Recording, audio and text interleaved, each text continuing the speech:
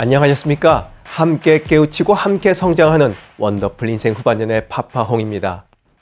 여러분들은 대기만성을 믿으십니까? 자신에게 성공의 기회가 여전히 열려 있음을 굳게 믿고 계신지 모르겠습니다. 이런 믿음을 갖고 계신 분들을 위해 영상을 준비했습니다. 50 이후 성공의 문을 활짝 열어 제끼는 사람들이 갖고 있는 공통점에 대한 이야기 여러분들과 나눠보겠습니다. 50 이후 성공 가도를 달리면서 더 큰 돈을 버는 사람들은 어떤 특징이 있는 걸까요? 자, 본격적인 이야기 지금 시작합니다.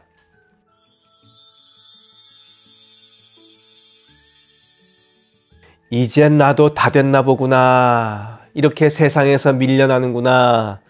이렇게 대부분이 생각할 즈음인 50 이후 남들과 달리 그때서부터 인생이 꽃피기 시작하는 사람이 있습니다. 뒤늦게 자신의 재능과 능력을 펼치고 경제적으로도 점점 더 윤택해지죠. 그야말로 뒤늦은 나이에 성공의 문에 들어선 사람들입니다.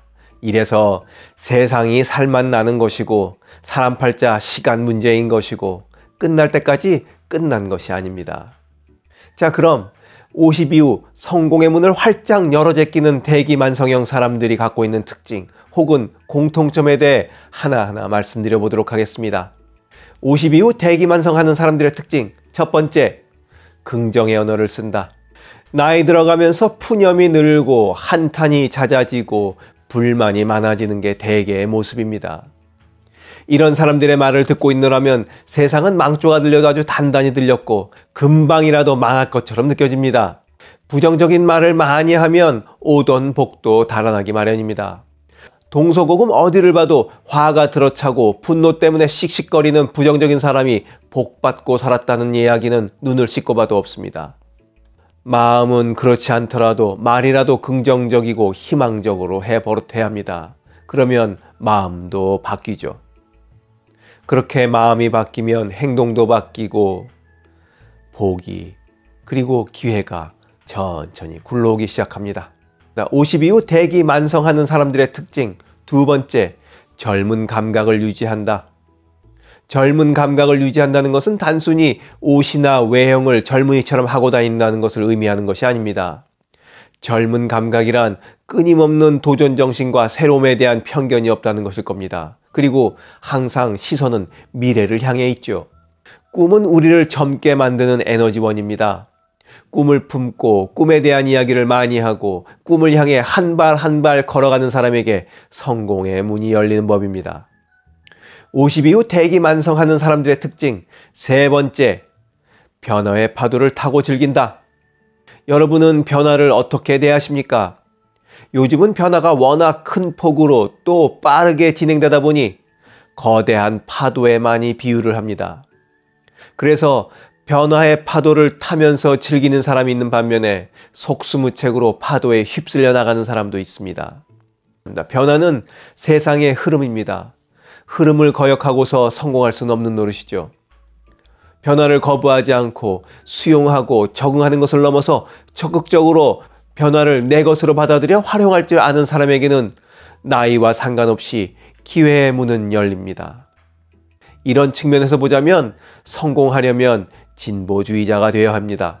아, 오해 없으시기 바랍니다. 정치적 성향으로 진보주의자를 말하는 것이 아니라 변화를 대하는 태도로서의 진보주의자를 말씀드리는 겁니다. 50 이후 대기만성하는 사람들의 특징 네 번째 초심을 잃지 않는다. 성공가도를 달리다 어느 순간 곤두박질 친 사람들을 보면 대개는 작은 성공에 취해서 거만하게 행동을 했거나 자신을 특별한 사람으로 착각해서 법을 지키는 것까지 가볍게 여겼거나 유흥에 빠져 사업을 도외시하는 것처럼 초심을 잃어버렸기 때문입니다. 이런 이유 때문에 어린 나이에 너무 일찍 성공하는 것이 되레 독이 된다는 말이 있는 거겠습니다. 대기만성을 이룬 사람은 세상 온갖 풍파를 다 겪어 본 뒤에 성공을 얻은 뒤라 그 성공에 겸손할 수 있을 겁니다. 그런 측면에서 보자면 대기만성을 이루는 사람은 복받은 인생일 겁니다. 대기만성을 이루는 사람들은 누가 알아주지 않아도 초심을 잃지 않고 밀고 나가는 사람입니다. 여러분은 예전에 품고 있던 꿈을 아직도 간직하고 그것을 이루기 위해 노력하고 계십니까?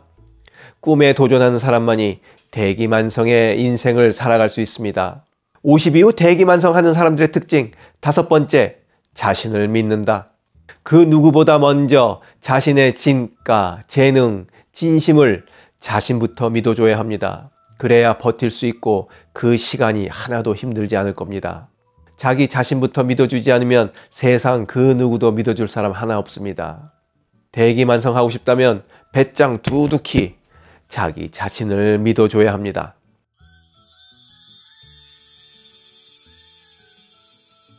언젠가 말씀드렸던 것처럼 저는 오래전부터 송해 선생을 존경하고 제 인생의 롤 모델로 삼고 있습니다. 대기만성형의 전형이기 때문입니다. 남들이 잘 나가던 한창 때 송해 선생은 늘 주연을 받쳐주는 보조역이었죠. 눈에 잘 띄지도 않았습니다. 그의 동료였던 배삼용, 서영춘, 구봉서와 비교해보면 단박에 알 수 있죠.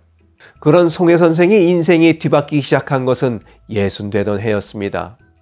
전국 노래자랑의 사회자가 된 것입니다. 그로부터 30여 년간 그는 연예인으로서 최고의 전성기를 보냅니다. 아, 멋지지 않습니까? 우리라고 이렇게 되지 말라는 법 없습니다. 그러니 대기만성의 꿈을 이뤄 가시자고요. 영상을 보신 모든 분들이 대기만성으로 성공하시길 바라면서 오늘 이야기 마치도록 하겠습니다. 원더풀 인생 후반전에 멋지게 나이 먹기는 계속됩니다. 감사합니다.